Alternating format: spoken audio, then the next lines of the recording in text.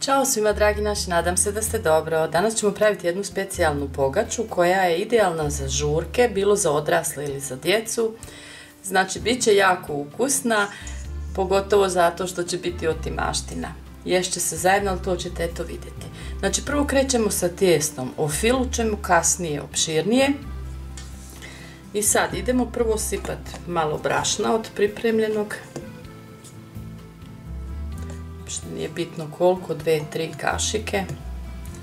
Tu ćemo staviti suvoga kvasca, 7 grama je to, jedna kaščica šećera, može slobodno biti uvršena i imamo mješavinu mlijeka i vode i to mora biti mlako.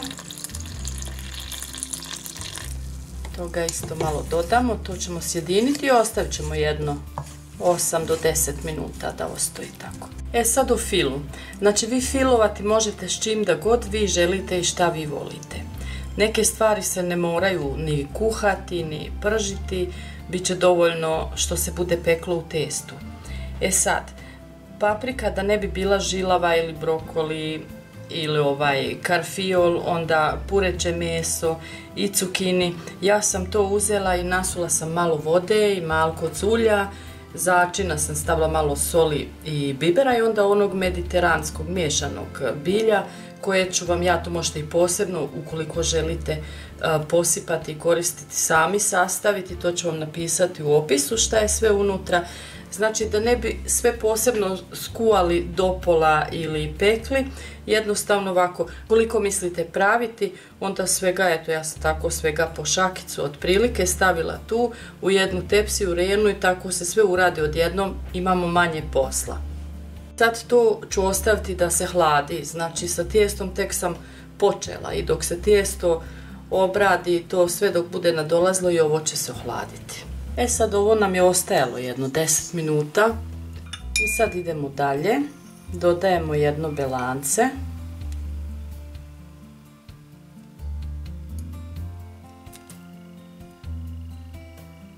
Ovdje imam pripremljeno 200 ml ulja. Nećemo nasuti sve. Ostavit ćemo malo.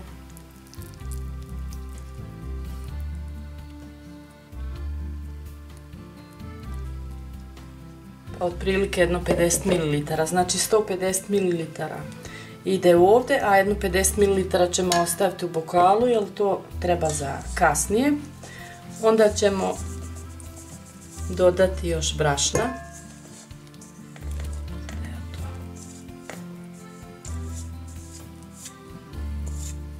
Preko brašna sad dve kašičice soli i jedna kaščica praška za pecivo.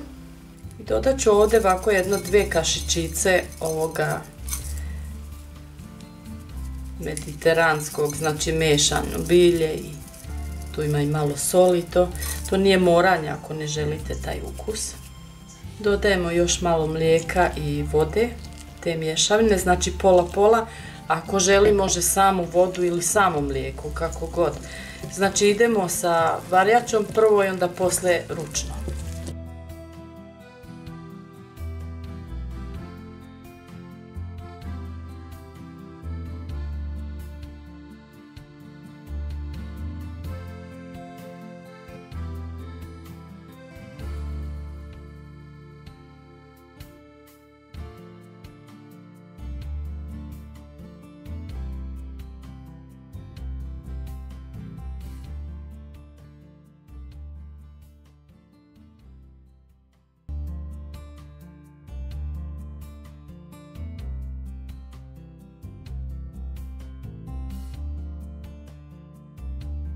Ulje sad što smo ostavili od e, tijesta, nalit ćemo malo ovdje.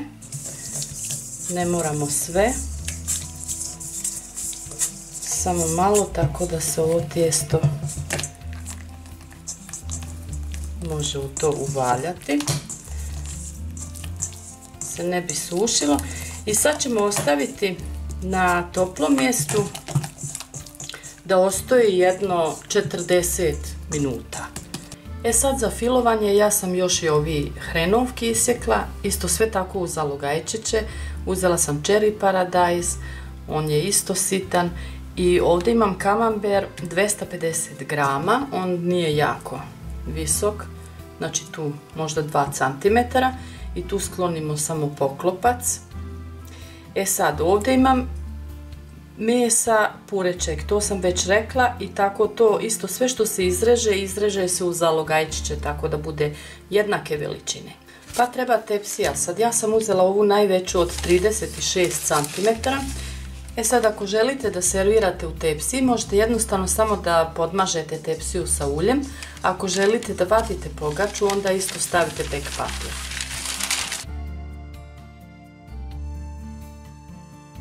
Ulje što je ostalo još što je bilo pripremljeno od onih 200 ml ću nasuti u jednu činiju, bit će lakše za pripremanje.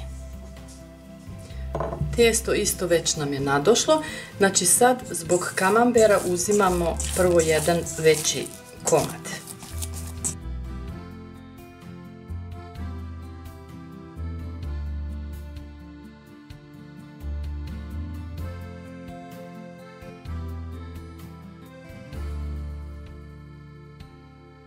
Ga upakovali i sve lijepo zatvorili, onda ćemo njega staviti u sredinu, centrirati i ovo drugo sve ćemo u manje kuglice da zamotamo, idemo okolo. Ukoliko želite da znate gdje je šta unutra, znači možete ići po redu.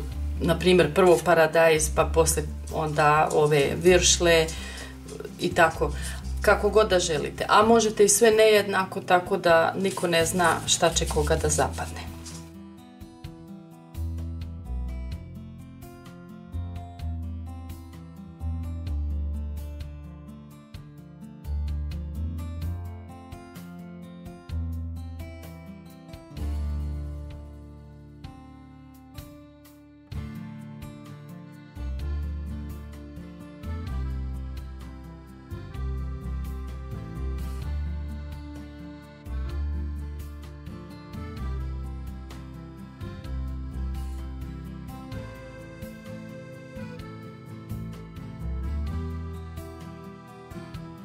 Kad smo sve popakovali, normalno treba da ostoji jedno 15 minuta da odmara i da se zagrije rena.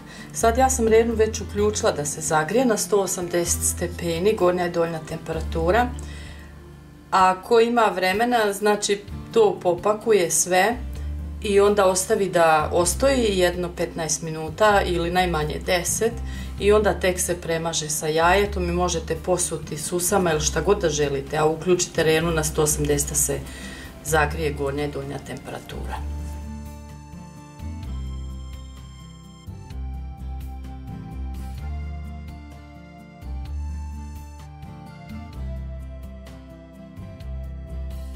je gotova. 30 minuta otprilike. Znači zavisi do rene.